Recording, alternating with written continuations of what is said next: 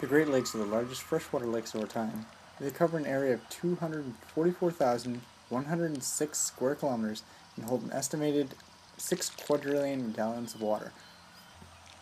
The Great Lakes are a source of economic prosperity through the use of shipping for ore and wood products, and they're also a hotspot for tourism. Recently, however, there has been much concern over the amount of fresh water within the lakes and where all this fresh water is going. This video presentation is about one of the driving forces of the change in the Great Lakes water level, and it's called the geological isostatic adjustment. Now you may ask yourself, what is geological isostatic adjustment? Geological isostatic adjustment occurs when a really heavy object, such as the Laurentide ice sheet that covered much of North America during the last ice age, is placed on the Earth's crust. The weight of this ice sheet causes the crust to be forced downwards and outwards from the sheet. This means that there will be a displacement of the crust on the outer edges of the ice sheet. It is only after the ice sheet has melted that this land can start to shift back to its original state. This process of adjustment takes hundreds of thousands of years and is actually currently still occurring. At a rate of approximately 5.6 centimeters of uplift per century around Lake Michigan here in the north, and a rate of 7.5 centimeters of subduction per century around Lake Ontario in the south. This shows that there is a tilting of the Earth's crust towards where the ice sheet melted from.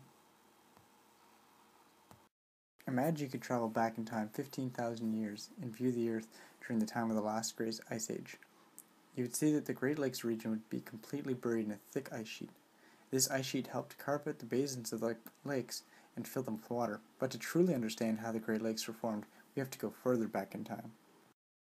The foundation that created the Great Lakes Basin was laid over a billion years ago, when two previously fused tectonic plates broke apart, creating two rift valleys known as the Mid-Continental Rift and the St. Lawrence Rift. But the region didn't become flooded until the end of the Ice Age, approximately 10,000 years ago. Approximately 14,000 years ago, the Laurentide ice sheet covering North America began to recede, and its meltwater began to fill the Great Lakes Basin to create a lake known now as Lake Algonquin. This lake covered much larger surface area than the upper Great Lakes, whereas Lake Erie and Ontario at this point in time had less volume than they did today. Why did Lakes Erie and Ontario contain less water even though there was a continental glacier melting in their neighborhood? Well, this was due to geological isostatic adjustment. At this time, the ice sheet was only just receding, and therefore the areas to the south were at a higher elevation than those to the north. This means that the meltwater from the glacier would take the path of least resistance. Over an approximate period of 7,300 years, this path changed based on the rate of rebound in the region. Initially, 11,600 years ago, Lake Algonquin drained into the Kirkfield outlet, which is noticeably the Kawartha Lakes region, to the region east of Lake Simcoe. At this time, Kempenfelt Bay, which is now part of Lake Simcoe, is thought to have been carved out by meltwater headed to the Lakes region, which would then connect with water leaving Lake Ontario and exit the St. Lawrence Seaway to the Atlantic Ocean. Approximately 11,000 years ago, this path changed its course again, as isostatic uplift closed the connection with the Kirkfield outlet as well as the removal of a block of ice to the north at Mink Lake. This allowed for the water to change course through the north at the Petawawa River and subsequently dumping into the Ottawa River and again into the St. Lawrence, where it would return to the Atlantic Ocean. By approximately 10,300 years ago, this path was now located running from the French River through Lake Nipissing to the Ottawa River. Also, the water levels in the upper Great Lakes at this time had subsided to their lowest points since the Ice Age. Lake Huron was now broken into several distinct lakes due to a, ridge running east to west from Amberley, Ontario to Alpena, Michigan. Also, the Niagara Escarpment divides Lake Huron from Tobermory to Manitoulin Island. At this time, Lake Michigan was divided into two individual lakes and was connected to Lake Huron by a post-glacial river at the Straits of Mackinac. Notably, at this time, Tobermory was home to a waterfall larger in both size and volume than Niagara Falls is today. Lakes Erie and Ontario at this time were continuously rising and spreading westwards. By 8,000 years, an influx of water from Lake Superior, along with paleoclimatic events, allows for lake levels to begin to rise in Lake Huron, Michigan, as well as the creation of Lake St. Clair. However, water in the upper Great Lakes still channels through the North Bay outlet. Lake Superior is now full of meltwater which channels into Lake Huron through the area around the St. Mary's River.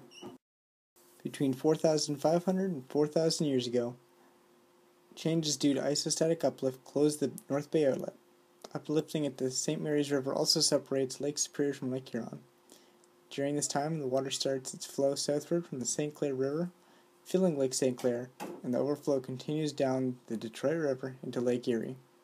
From here, the water maintains its usual course over Niagara Falls into Lake Ontario and into the St. Lawrence River, where it finally enters the Atlantic Ocean. Isostatic uplift nowadays continues to change lake levels. However, this change is only in cubic centimeters per century. Current GPS beacons and flow rate monitors show that Lake Michigan Huron is decanting its water into the lower Great Lakes. This is partially due to isostatic uplift. However, the good news is, is that the lower Great Lakes show signs that they are storing water, and Lake Superior shows no signs of an increase or decrease in their water levels. Many Great Lakes shipping companies and federal agencies are worried that water levels in the Great Lakes are lowering so much that future of shipping is an uneasy one.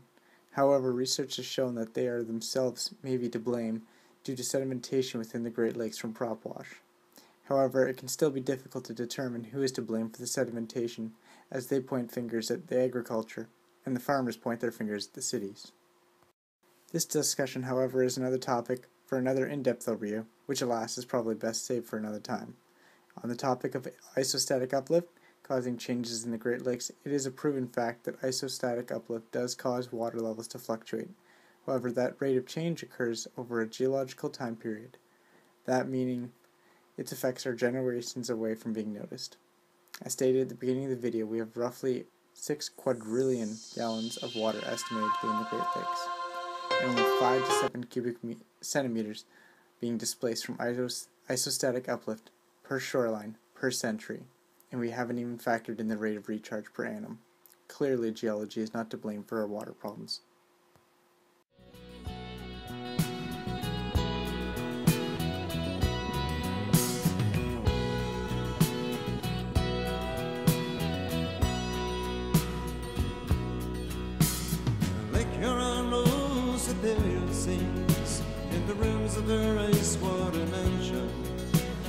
Oh, Michigan steams like a young man's dreams, the islands and days for sportsmen. Farther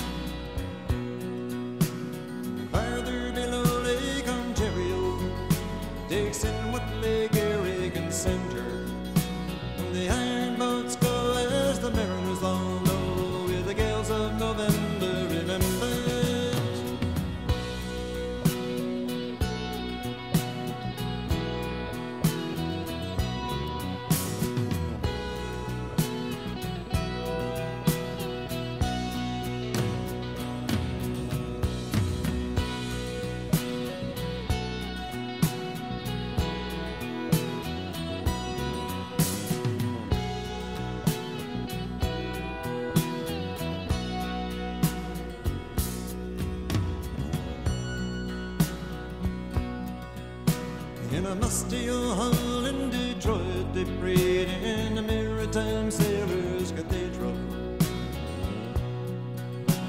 The church bell chimed till it rang 29 times for each man on the Edmund Fitzgerald. The legend lives on from the Chippewa down of the big lake they call